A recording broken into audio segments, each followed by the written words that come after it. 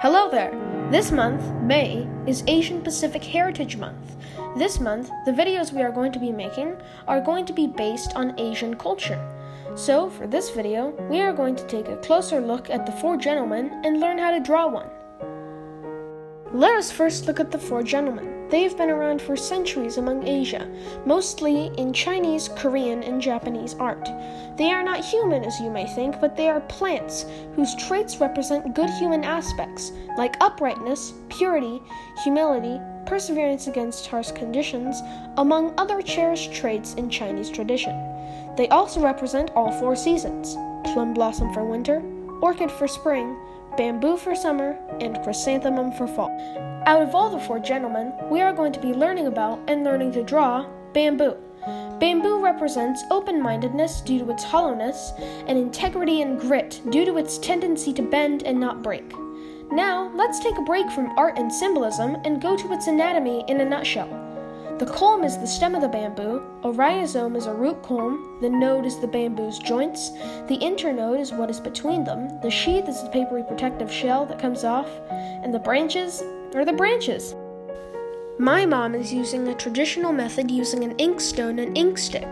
The ink stick drags soot into the water, blackening and turning it into ink. For drawing the bamboo, first take your calligraphy brush and press the tip down and draw a line gradually letting go and pressing down near the end. Then add a space and do a couple more to shape the culm and the internodes as well as the nodes. Have one leaning to the side to make it more natural. Then add a couple of branches by adding smaller lines and finish off the nodes on the main bamboo stalk like so.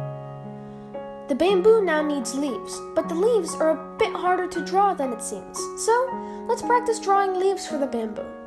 You press the tip down and draw a short line, letting go near the end. Each set of leaves should be sets of two to three.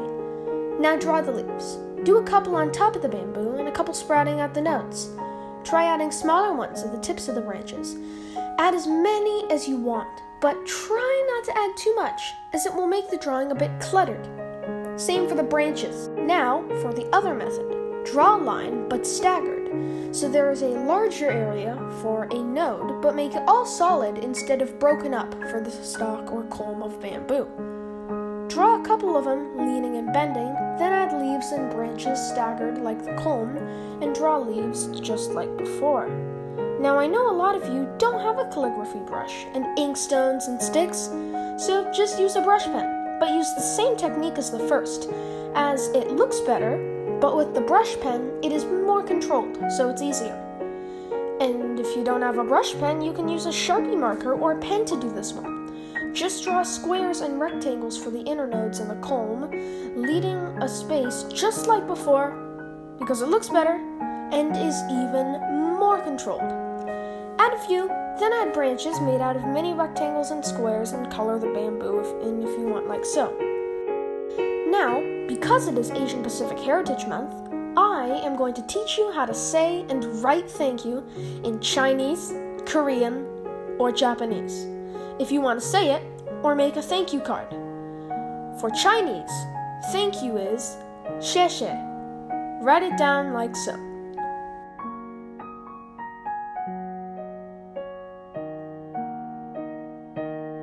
For Japanese, thank you is arigato. Write it down like so.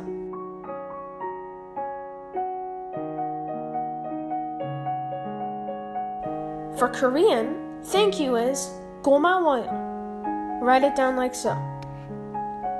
Sheshe, arigato, gomawoyo. Thank you for watching. Stay safe and have a great Asian Pacific Heritage Month.